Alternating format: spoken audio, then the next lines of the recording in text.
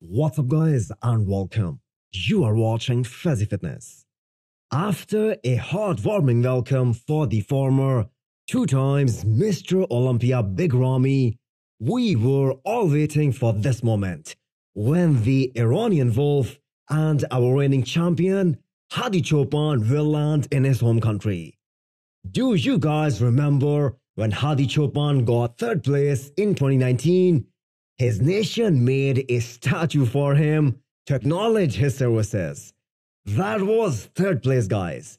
Can you imagine what the Iranians will do this year when he has become the best bodybuilder on the planet? And it was well deserved because so far there hasn't been one opinion from any athlete or former bodybuilder that did not agree with the results.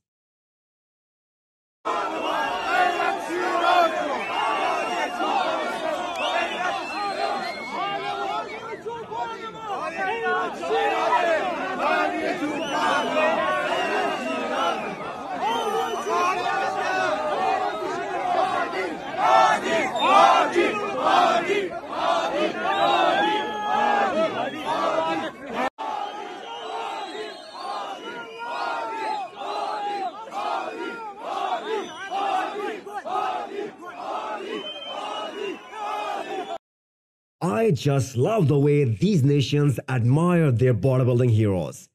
Jay Cutler has a very funny comment on this one. Because this isn't how the general public treats bodybuilders in the US. Craziness when he got home, right? Yeah, that's a superhero. I, I won treasure. the Olympia four times, and I mean, I drove to I drove to a restaurant, and they said, "Okay, here's the bill for five hundred dollars." you know what yeah. I mean? They aren't given the respect that these guys deserve. But it is always great to see these amazing scenes when bodybuilders arrive home after achieving big things, especially in the Middle Eastern countries. I am sure Hadi Choopan will be fired up more than ever to build his legacy as a former Mr. Olympia. And I see him as the front runner now because now that they know what the judges want to see from him, and as we all know, Hany Rambod is a phenomenal coach. He is gonna bring him probably a few pounds bigger and equally conditioned as this year. So let's review the new guidelines for the Olympiad 2023 qualification, published by the IFBB. Only the winners of the Pro Show will secure their Olympia spots so there won't be any qualification on points basis. Now, if this decision is taken solely to reduce the number of competitors on the Olympia stage, then I am afraid it will have negligible impact.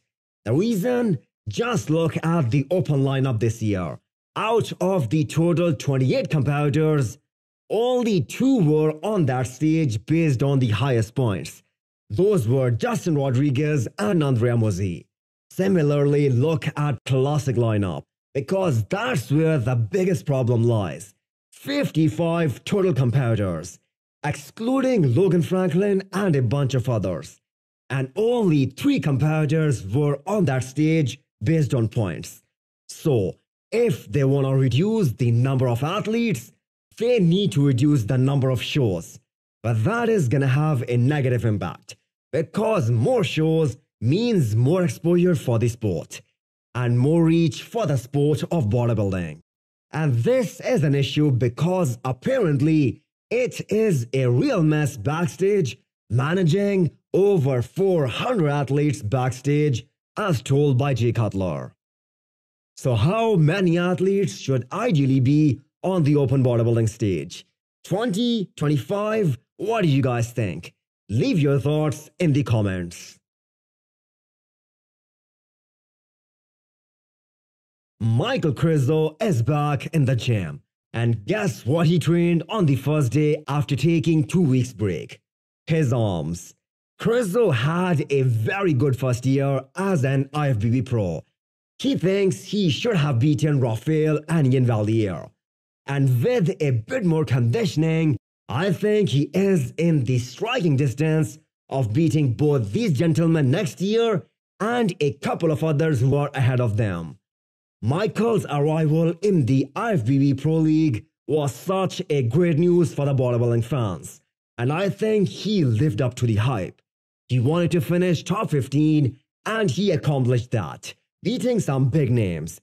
Now, with a solid offseason in 2023, I think he is gonna be much more dangerous.